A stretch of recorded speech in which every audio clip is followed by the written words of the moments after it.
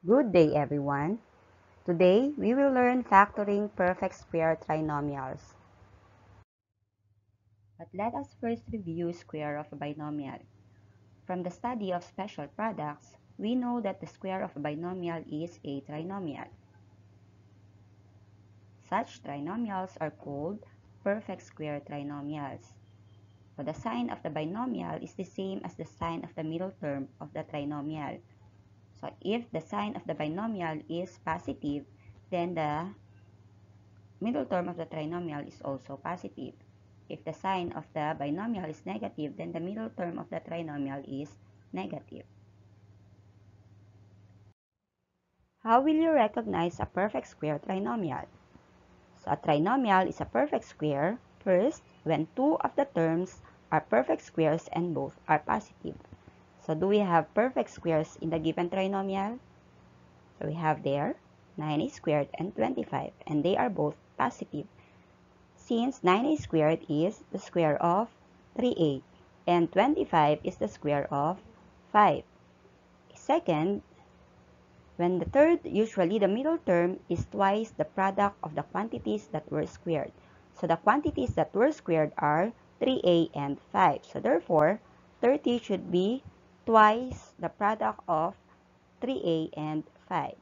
So 2 times 3a is 6a times 5 is 30a. So therefore, 9a squared plus 30a plus 25 is a perfect square trinomial. Before we factor perfect square trinomials, let us first answer this. It says here, fill in each blank to make each expression a perfect square trinomial. Number 1, x squared minus 14x plus blank. So the third term is missing. So how do we find the value of the third term? So we know that the third term should be a square number. So we have to first get the square root of the first term. So that is square root of x squared is x. Then we divide the middle term by twice the square root of the first term. So negative 14x divided by 2x is negative 7. Then we square negative 7. So negative 7 squared or negative 7 times negative 7 is 49. So our perfect square trinomial is x squared minus 14x plus 49. Number 2, blank plus 20m plus 1. So this time, the missing term is the first term. So how do we find the value of the first term? So we have to, again, get the square root of the last term, that is 1. Then we divide the middle term by twice the square root of the last term. So, yeah, 20m divided by 2, since 2 times 1 is 2. So we have 10m. Then we square 10m, that is 100m squared. So the perfect square trinomial is 100m squared plus 20m plus 1. Number 3, b squared minus blank plus 36. This time, the missing term is the middle term. So we simply get the square root of the first term and the last term. So the square root of b squared is b. And the square root of 36 is 6.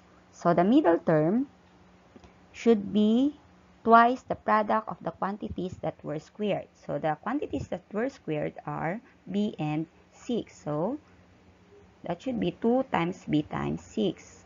So 2 times b times 6 is 12b. So the middle term is 12b. So therefore, the perfect square trinomial is b squared minus 12b plus 36. Let us now factor perfect square trinomials. Example 1, factor x squared plus 18x plus 81. So let us see if this trinomial is a perfect square. So two of the terms should be perfect squares and should be both positive.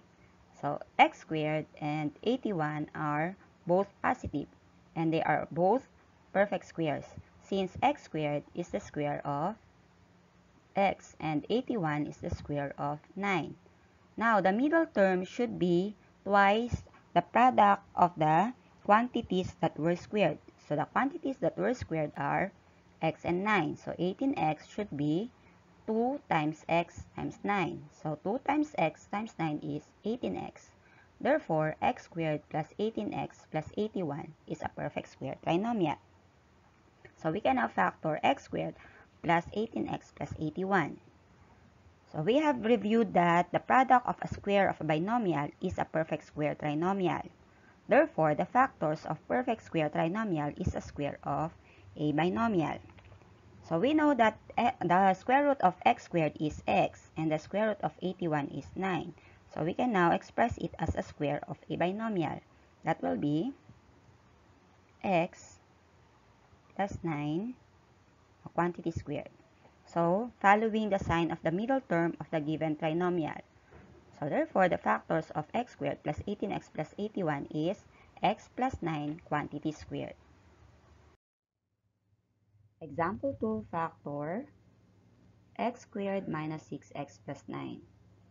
x squared and 9 are both perfect squares since x squared is the square of x and 9 is the square of negative 3.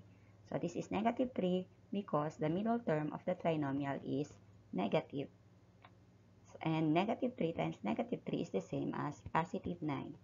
Now, the middle term, negative 6x, should be twice the product of the quantities that were squared, which are x and negative 3. So that will be 2 times x times negative 3. So 2 times x times negative 3 is negative 6x.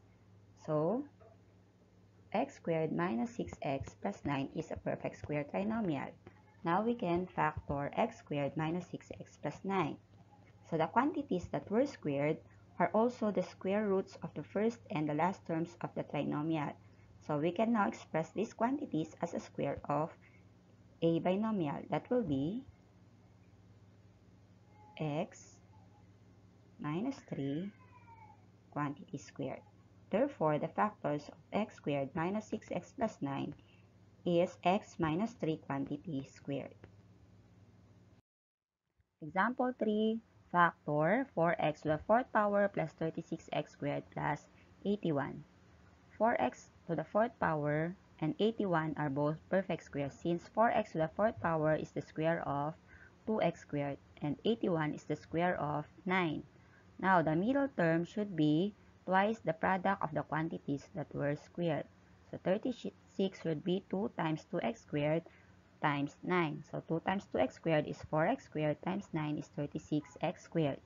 Now we can write the factors of 4x to the fourth power plus 36x squared plus 81. So we simply express 2x squared plus 9 as square of a binomial. So the factor of 4x to the fourth power plus 36x squared plus 81 is 2x squared plus 9 quantity squared. Example 4, factor 4x squared minus 20xy plus 25y squared. 4x squared and 25y squared are both perfect squares since 4x squared is the square of 2x and 25y squared is the square of negative 5y. That is negative 5y since the middle term is negative. Then the middle term should be twice the product of the quantities that were squared. So the quantities that were squared are 2x and negative 5y. So negative 20x should be equal to 2 times 2x times negative 5y. So 2 times 2x is 4x times negative 5y is negative 20xy. Therefore, 4x squared minus 20xy plus 25y squared is a perfect square trinomial. So we can now write the factors of 4x squared minus 20xy plus 25y squared as the square of 2x minus 5y. So therefore, the factors of 4x squared minus 20xy plus 25y squared is 2x minus 5y quantity squared. Let us summarize what we have learned. To factor perfect square trinomial, first, get the square roots of the first and the last terms of the trinomial. Second, express it as a square of a binomial following the sign of the middle term of the given trinomial.